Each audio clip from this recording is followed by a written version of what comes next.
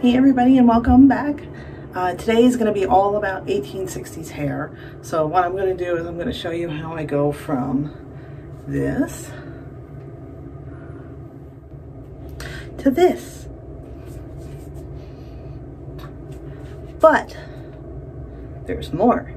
This is only what I consider a base style, so I'm going to show you some other things I can do it. So here's one style with just one addition.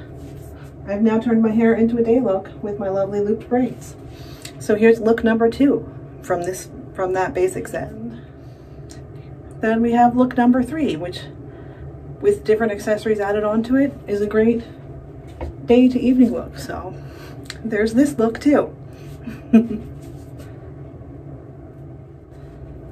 Right here's look number four, which is an evening look with some lovely ringlet curls in the back.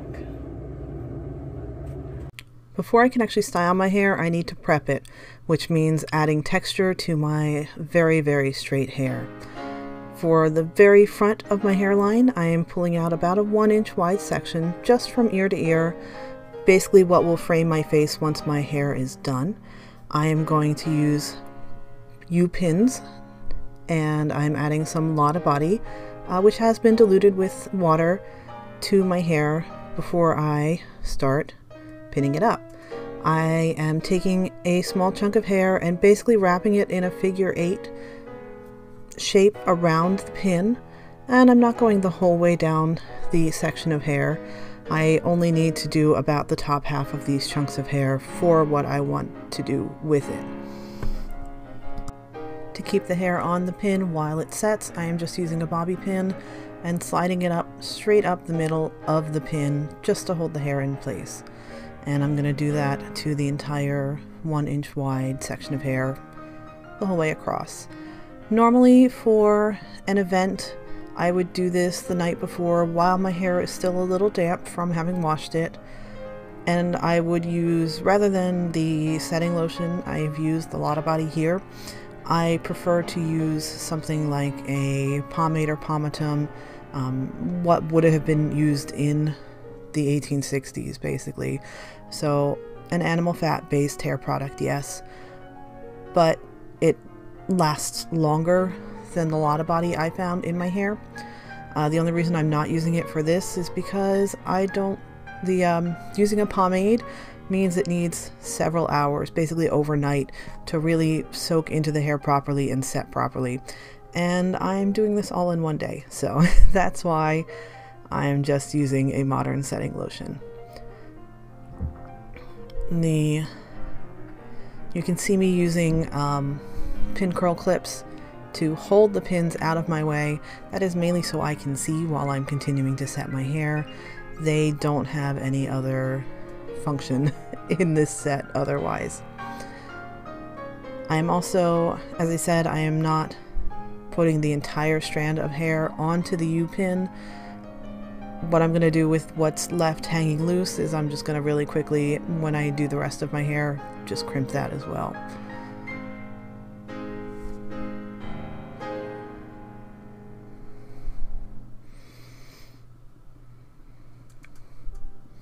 This helps the end of each strand of hair below where it gets waved from the U-pin to blend into the rest of my hair. And I am just going to take my crimper and my heat protector, my heat protectant spray, and go through and just crimp the entire rest of my hair. So that's what this is going to be. All right, so it's been a couple of hours and I've let, given my my U-pin curls up here some time to fully dry and set. A, I have taken the pins out of the back of my hair where I had it where I crimped it. And now I'm gonna take out the U-pins. So first things first is I wanna take out these clips that were just holding the pins out of my face. Open up my bobby pin case so I can put them back in there. All right, get all of this hair out of my way. All right, so take these out. First I'm going to just pop out the bobby pin from the center. Take that out. And then this, if I just push it up from the bottom, slides nice and easy out of the hair. And this is the result I get. so, as you can see, it is very tightly springy. So much fun. And this is after using only some Lotta Body and letting it sit for, what time is it now? Two, two and a half hours.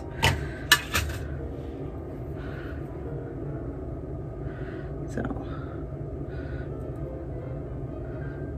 pop out the bobby pin first, then slide the U pin out the other way.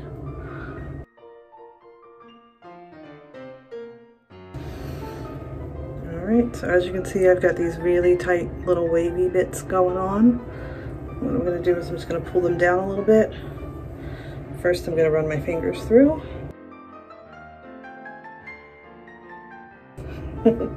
you can see how much extreme fluff I get from this.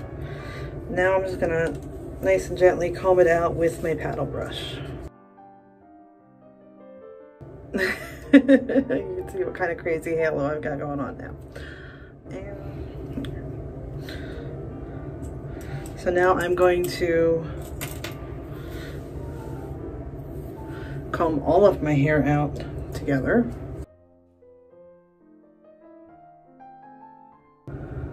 Going to part first right down the middle. Very even.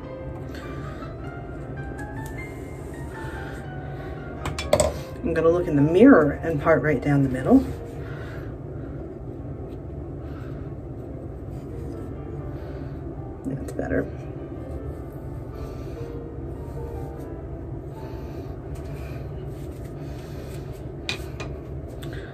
A center part and where it goes funky, I'm gonna sort of curve and make a Y part.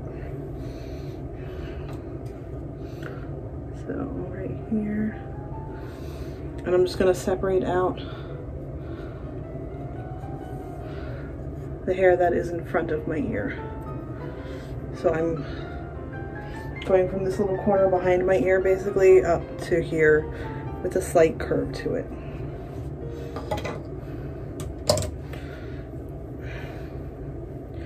And I'm getting both some of my crimped hair as well as what I curled with the U-pins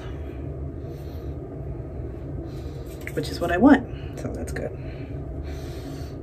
And I'm gonna do the exact same thing on the other side and kind of curve.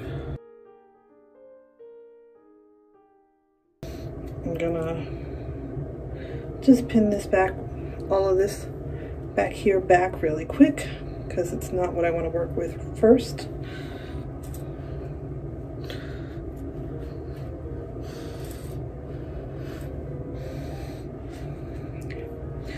All right, so I've got my two front bits of hair here. You can see I've got my Y part and all this fluff.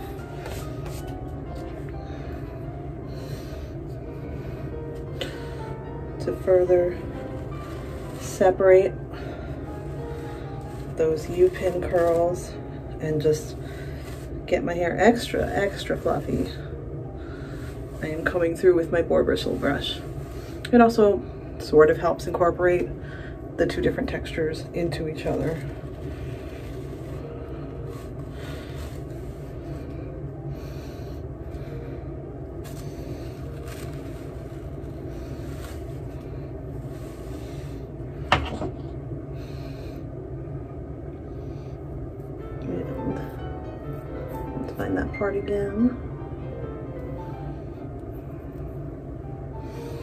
Because of my widow's peak, the very center doesn't always want to stay parted, which gets a little frustrating. So, oops, I'm missing the pins for that.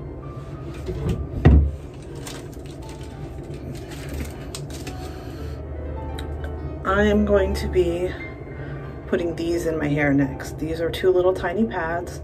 They are slightly tapered. They curve a little bit so that they follow the shape of my head. These are just some wool felt stuffed with a little extra wool for padding and I've got a wig clip on that. Ooh, excuse me.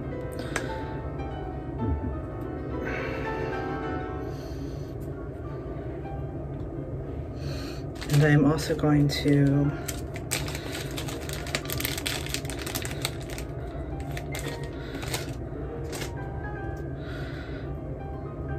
I sort of left a little bit of a hole at the very point of this so that I can easily stick a bobby pin in to help secure the back end of these rats as well.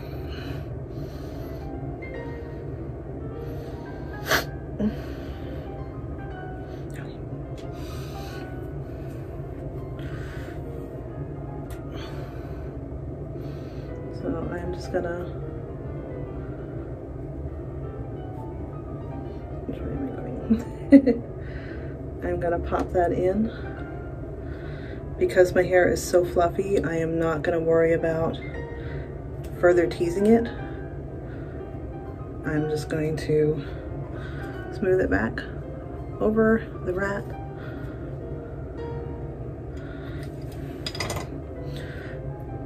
One thing I do do is I double wrap the hair here. I'm gonna section this little bit off. I'm gonna take the higher up section of hair and just kind of wrap it under here. Then all of this that's left here, I'm gonna pull this forward a little bit.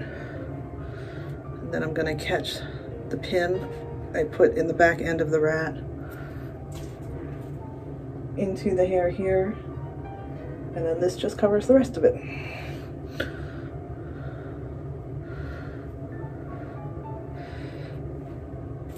I'm only going to temporarily clip it back because I want to make sure I balance the two halves before I put bobby pins into it. So to smooth down a little bit. Make sure I'm putting them evenly from side to side.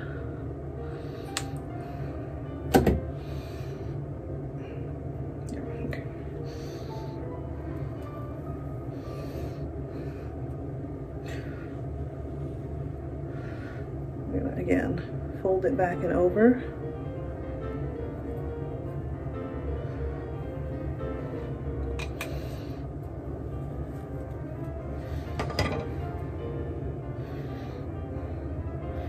And under the rat.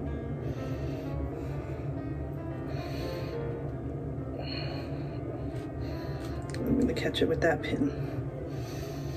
And I want to make sure that the rat doesn't show my ear line. So I think this one needs to go a little higher.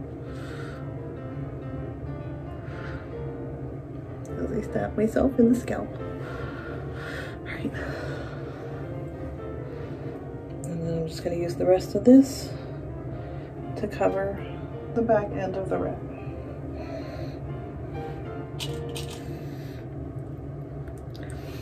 and that looks even so I'm going to pin as close to the rat as possible so that my pins kind of hide against that little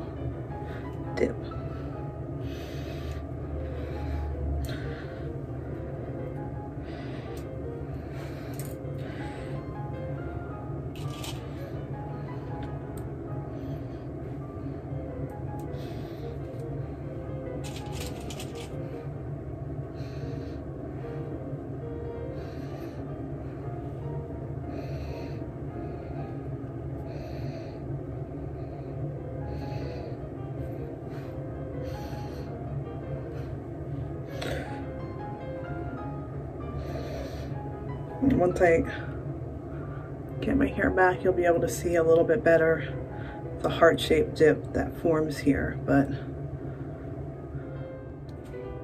All right, so now to deal with all of this, mm, what I'm gonna do is I'm gonna basically do four vertical parts in my hair. So one straight down the middle. Clip this out of the way.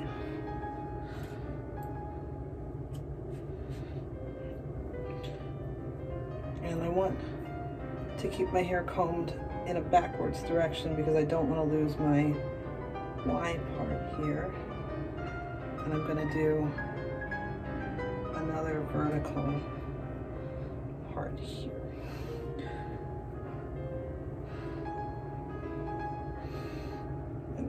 Clip this it doesn't feel very even.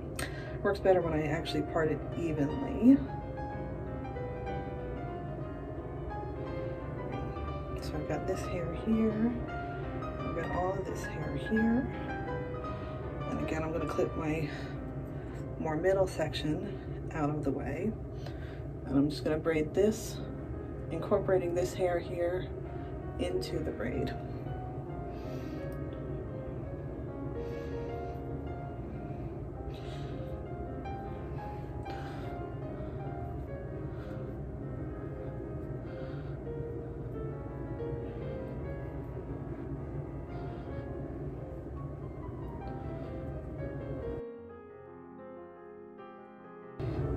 Take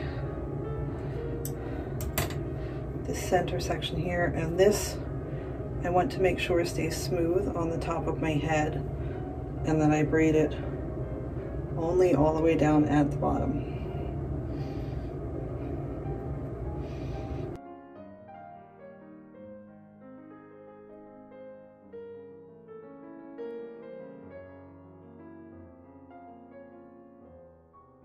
So to finish this off, I'm just gonna kind of twist these two around each other.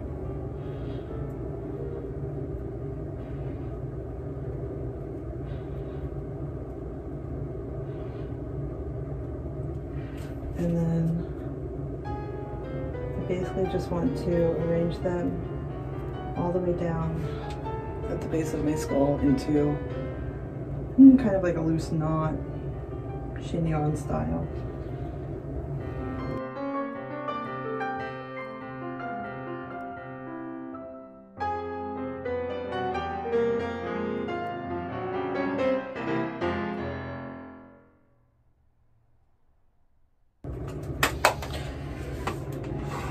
So if I were actually doing this for an event, I would of course put a lot more bobby pins in my hair. And one more thing I'm gonna do is I'm gonna put something on here just to tame the flyaways down. Had I used a pomatum or a pomade to set my hair, I would just use the exact same thing to smooth it. So this would be a just super, super basic hairstyle, um, which could then have stuff added onto it, so. Other things with, and how do I do those other things? Let me show you. I have a whole bunch of hair pieces. So I'm gonna start with this one. It is a set of three braids, which was a really common, popular day style. So we're gonna start with this one and I'm gonna show you how I add this into my hair. First thing I'm gonna do is I'm gonna unpin the braids again. All right, I'm gonna pull my braids forward so that I have room on the back of my head. So this is just, it started out as a single extension. What I did was I took up apart a couple other ones and I, I sewed basically three sets. I just stitched them together so I had more hair in the single piece.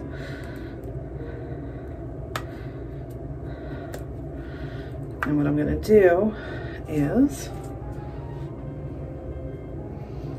all the way down, as far down on my head as I can get.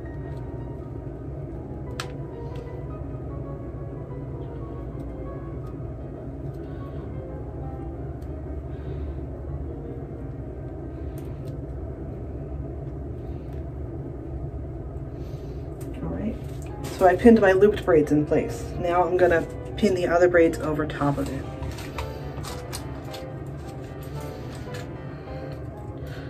I'm gonna double check real quick first.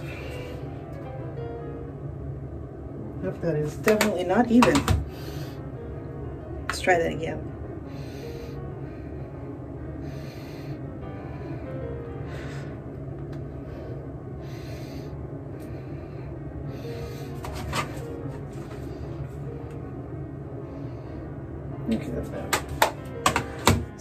I'm gonna do now is with the braids from my own hair, I'm just gonna kind of loop over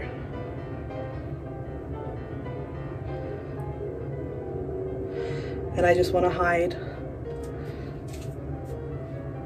where it's pinned and where it clips in. So I crossed over the two inner braids first and now I'm going to use the two outer braids across the top to cover the top of the extension. The name of the game is hiding your weave in this one. And what I want is I want the back of my head to be as flat as possible. For one very important reason. This giant chunk of hair I've got loose there.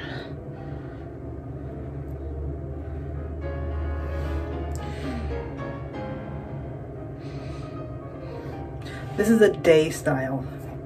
What do you do during the day? You wear a bonnet when you go outside.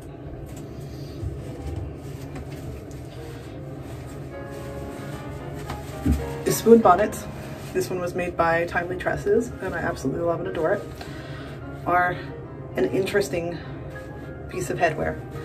They are meant to sit as far back on your head as possible, basically.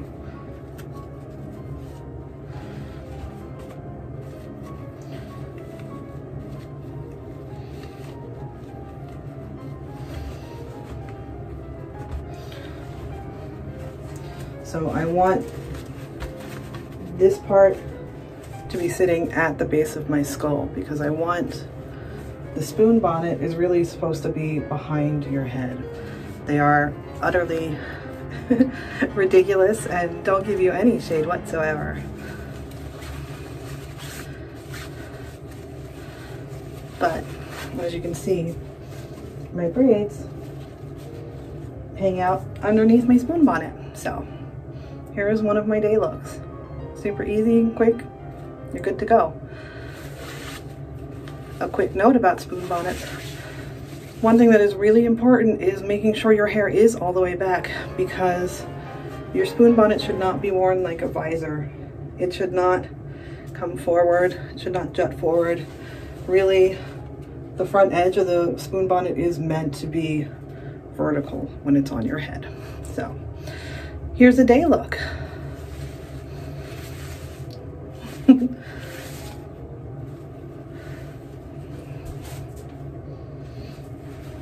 but I'm not done with this yet. So the next look I want to do is one that can actually really be a, a day to evening look.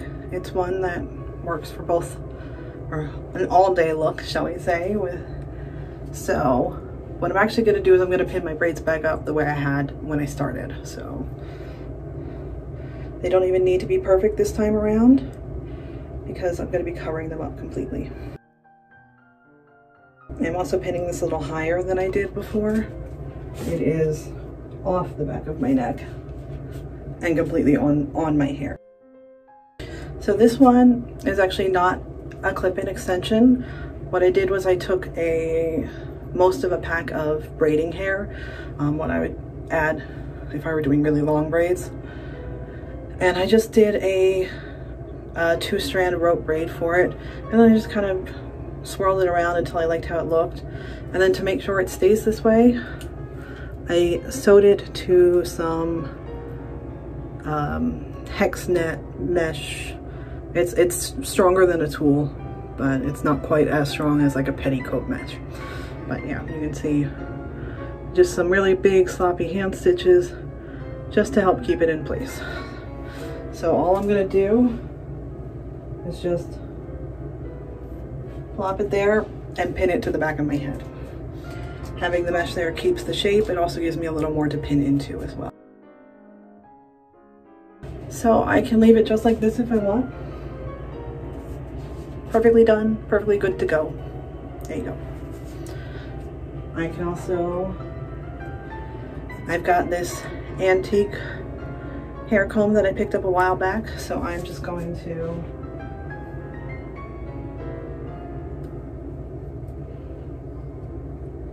slide it in so it just kind of peeks up at the top of my chignon. And one more thing I want to do to it is I'm going to put a net over it and the pin. It's all getting covered with a net. This one is from Timely Tresses, just like my spoon bonnet. It is just, it's a hairnet with a wire band in it that is covered with velvet. Uh, this velvet will keep it sticking to my hair and it won't go anywhere. I don't even need to put pins into it, which is my favorite part. So I'm gonna arrange it right behind my rolls and just gently tug it all the way down so that it covers my entire chignon and the, the comb, of course. As I said, this could also work for evening, having this giant chignon. And all I'm gonna do is just add another thing on top. This is a silk hairnet. It got rained on last time I wore it, so it's a little bit not entirely happy. But it is a net with, again, a wire band with ribbon pleated on top. And this I'm just gonna, which was my inside and which was my outside, because there is a difference. Okay, so I'm just gonna plop this down right on top of the velvet band of the hairnet. This does have two loops, so I can pin it to secure it as well. But it just nicely drapes over the rest of my hair, just like that. And then this is a great dinner or evening look, but I did this for a formal dinner, not for a ball or anything. That's, that's what I made this hairnet for. Let's do two evening time looks. They're, they are related to each other, but they're not quite the same. For an earlier evening look, I've got a pair of the fake curls.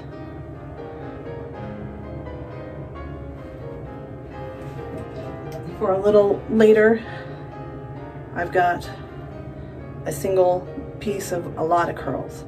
Now this one I would put into my hair the same way I did the braids, so I'm not gonna show this one because it, it really, it's the same exact thing.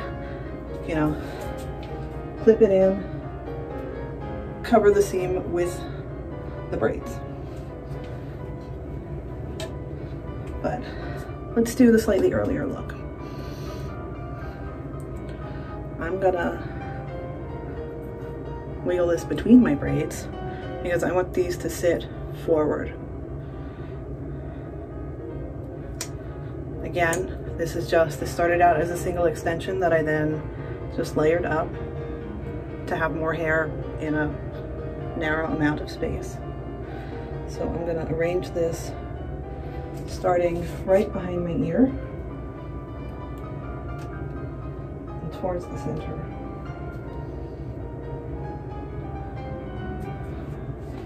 I'm going to do the same thing with the other one.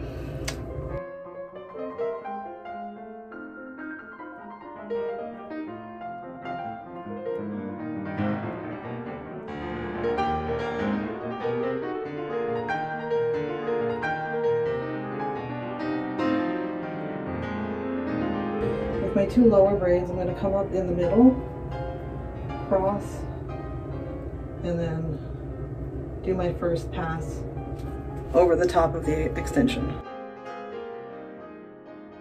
Basically what I'm trying to do with this is separate the center back of the two sets of braid of curls. Then once those are in place, I'm gonna take the upper braids and just make sure I have covered. Now, these curls are still really tight and short because I only just took them off the curlers for the video, but they will relax down with a little bit of time and sit lower.